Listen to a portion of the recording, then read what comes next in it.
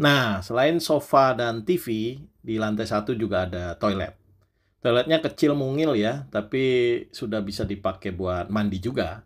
Sudah ada showernya juga, lumayan lah ya, biar nggak berebutan kalau mau mandi gitu. Nah, kemudian ada tanah di belakang yang Om David jadikan ruang terbuka ya, void. Nah, jadi bisa pertukaran udara. Nah, seperti ini voidnya cuma Om David kasih meja, kursi, dan payung aja ya buat Om David santai-santai sama buat makan gitu. Nah, rumah mungil ini ada lantai duanya loh. Ayo kita ikut ke lantai dua. Ada apa di lantai dua? Kita lihat aja ya. Tangganya juga enak buat naik ke atas. Memang dua lantai rumahnya. Jadi kamar semuanya ada di lantai dua. Kamarnya cuma dua ya.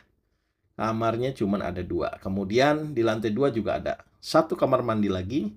Jadi kamar mandinya di rumah Om David itu